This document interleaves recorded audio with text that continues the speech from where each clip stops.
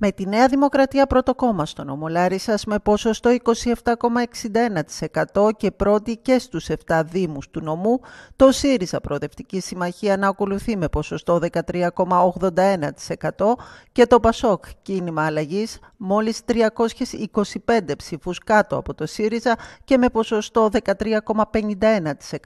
Η αυλαία των ευρωεκλογών 2024 έπεσε και αυτά ήταν τα πρώτα τρία κόμματα που επέλεξαν επέλεξαν να στηρίξουν με την ψήφο τους οι Λαρισαίοι. Τέταρτο κόμμα αναδείχθηκε το ΚΚΕ με το αρκετά ικανοποιητικό ποσοστό του 11,79%. Ακολούθησε η ελληνική λύση του Κυριάκου Βελόπουλου με 7,96%, η Νίκη με 4,65%, η Πλεύση Ελευθερίας με 4,23% και η Φωνή Λογικής με 3,13%.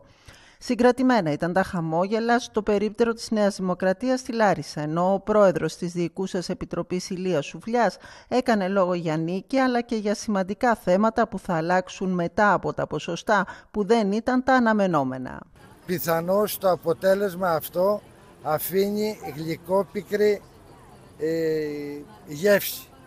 Εμείς το ερμηνεύουμε διαφορετικά, αφιερώνουμε αυτή τη νίκη στα στελέχη μας, αφιερώνουμε αυτή την νύχη στους εθελοντές μας και προχωράμε. Οι εκλογές αυτές δεν επηρεάζουν τη διακυβέρνηση της χώρας. Η Νέα Δημοκρατία έχει εντολή για άλλα τρία χρόνια να κυβερνήσει τη χώρα.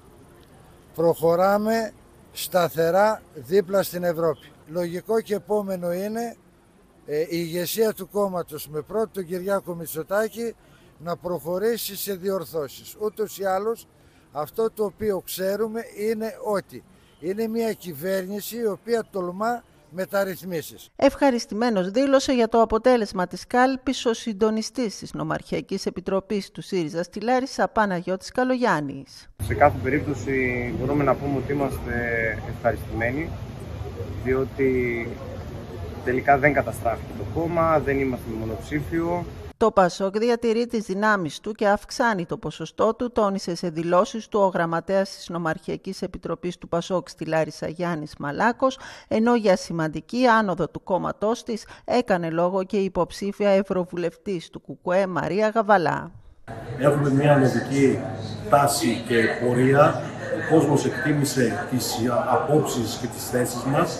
Το εκλογικό αποτέλεσμα του ΚΚΕ επιβεβαιώνει, ένα θετικό εκλογικό αποτέλεσμα, επιβεβαιώνει για δεύτερη διαδοχική φορά τη σημαντική του άνοδο, ε, πράγμα που δεν είναι συγκυριακό, σε αντίθεση με άλλους πολιτικούς χώρους που βλέπουμε τέτοια στοιχεία μέχρι τώρα τουλάχιστον σε αυτή την εκλογική αναμέτρηση και σε άλλες στο παρελθόν. Στο μεταξύ, ο μεγάλος πρωταγωνιστής των εκλογών και στη Λάρισα ήταν η μεγάλη αποχή που άγγιξε το 55,43%.